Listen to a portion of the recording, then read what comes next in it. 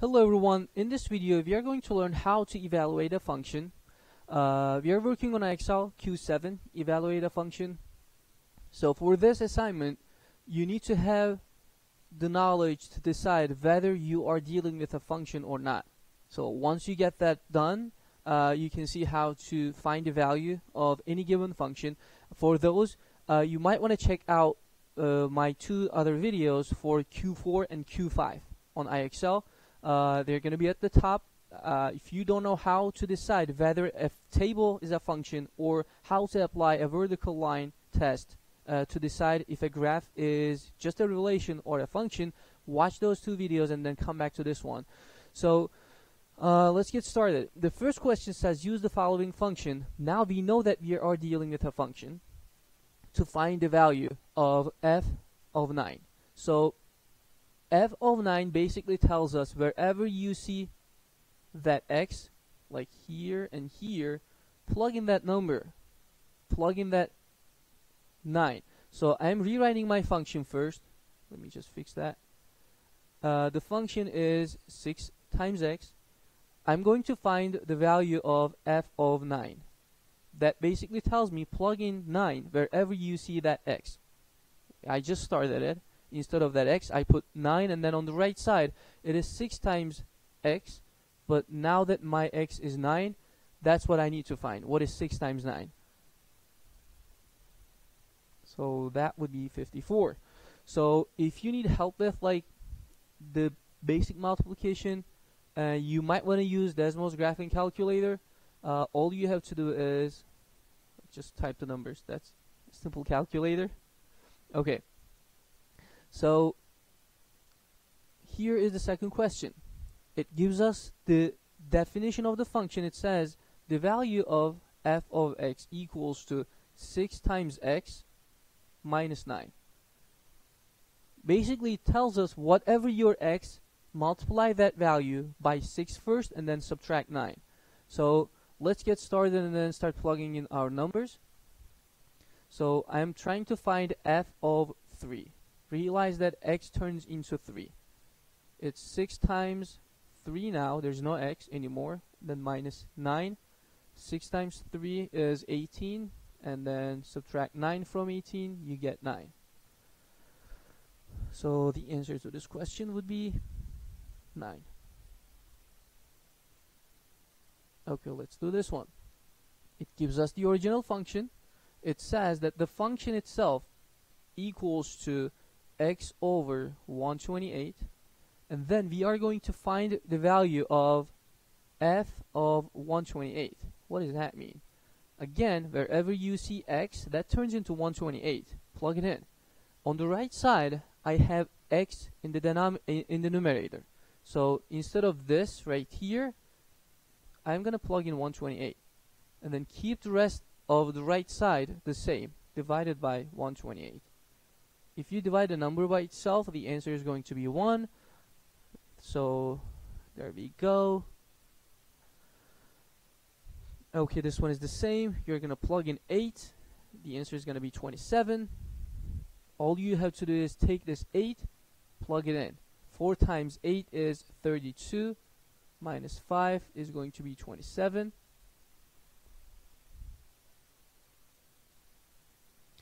I'm gonna see if the question okay it got a little harder over here.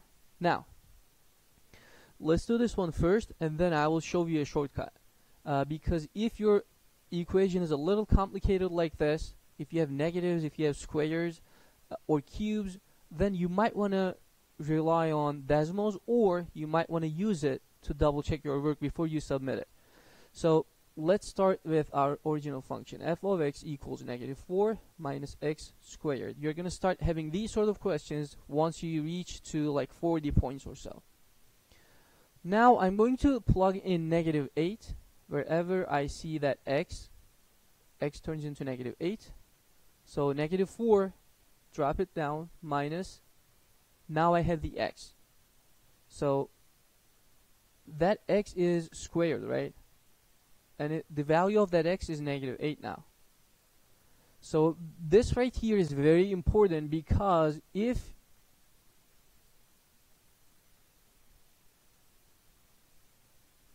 here is why I put that negative 8 inside that parentheses. Because if I put it inside the parentheses, the value is going to be negative 8 multiplied by itself. And the answer, when you multiply two negative numbers, it is going to be positive 64. Okay? Now let's see what happens if, I, if you forget about that parentheses. So negative 8 squared, let's see the value of this. There's that, that negative, but negative is not squared now. It is not inside the parentheses. The 8 is the only thing that you are going to multiply by itself. 8 times 8 because this is what it says. There's no parentheses. It doesn't tell us to uh, multiply the negative by itself. So keep that negative because we are not multiplying it by another negative to turn it into positive. Now multiply your numbers. That's 64. Now, when you put it in a parentheses, it turns into positive 64. If you forget about the parentheses, uh, it becomes negative 64. That's a huge difference. The difference between those two numbers is 128. One of them is negative 64. The other one is positive 64. There's a huge gap between those two numbers on the number line. So it's not just a negative. It's like the difference is 128. So that's why it is important uh, to put the negative numbers inside parentheses when you plug them in. Now, we figured that if we put the negative 8 inside the parentheses, it equals to positive 64, right? Let's just plug it in then. Like the expression that I circled over here equals to 64 the circle equals to 64, positive 64. But then, right in front of it, there's a negative, and then there's like 4 and that negative. Negative 4 minus 64. That's going to be my answer, which is negative 68. If you mess up with the signs, you're going to mess up with your answer, and probably your point is going to 2 or 30. So, let's say you're not sure about your answer. You got this one, but you're not sure whether this is right or wrong. What should you do? Let's just type the exact function on Desmos, okay? f of x. I'll type this. I don't want to forget about it. And then I'll remove all of the drawings on the from the screen. Okay, let's get rid of it. Now, f of x equals, because Desmos can calculate your functions, negative x squared. And then, that's my function. I type the whole thing, and then this is what I'm going to type. f of negative 8. f of negative 8.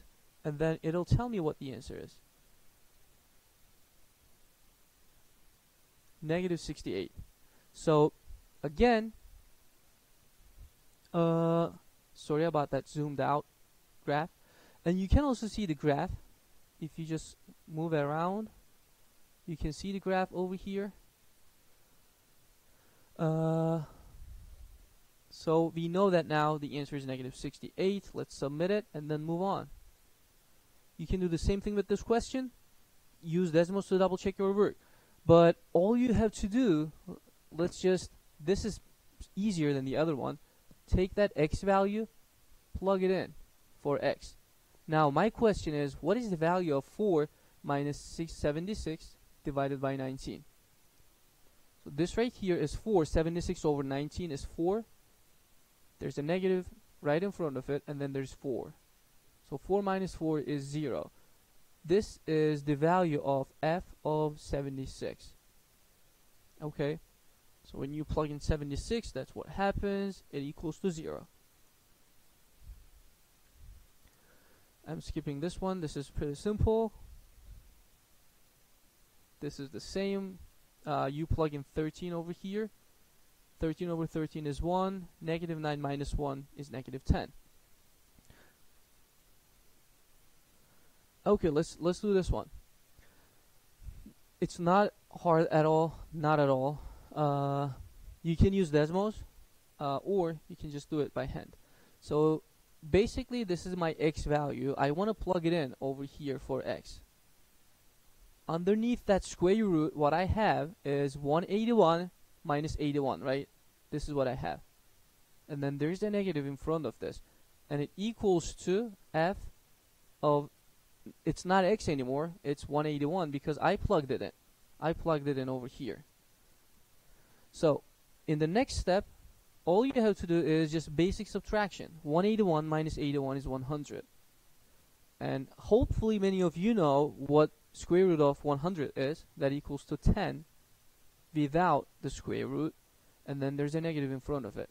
So the value of f of 181 equals to negative 10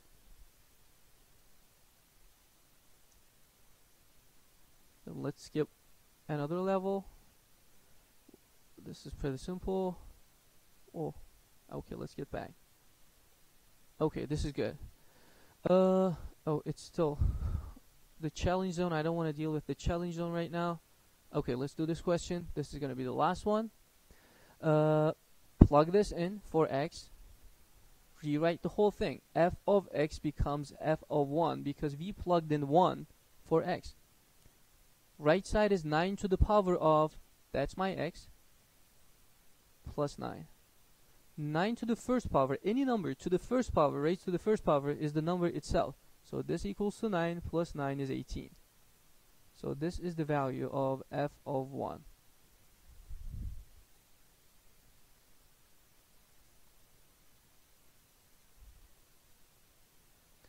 and then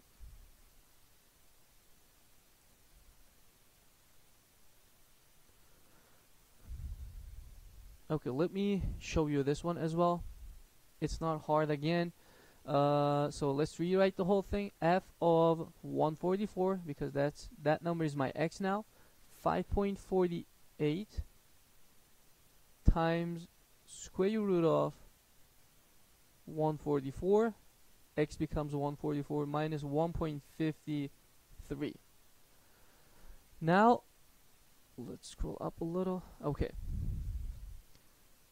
let's just talk about this first. 5.48 times square root of 144 this equals to 12 so basically it wants us to multiply 5.48 by 12 and then subtract 1.53 let's just do it over here. Uh, 5.48 times 12 minus 1.53 64.23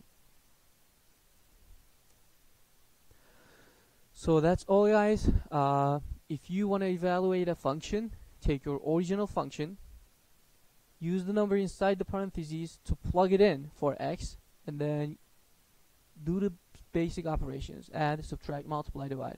Sometimes you're going to square root or deal with exponents but if it gets harder use Desmos use a calculator uh, again if you need help with how to decide whether you deal with a function or not watch the videos for Q4 and Q5 on IXL uh, then you can get back over here to see how to evaluate the value of a function. Thanks for watching and I will see you in another video.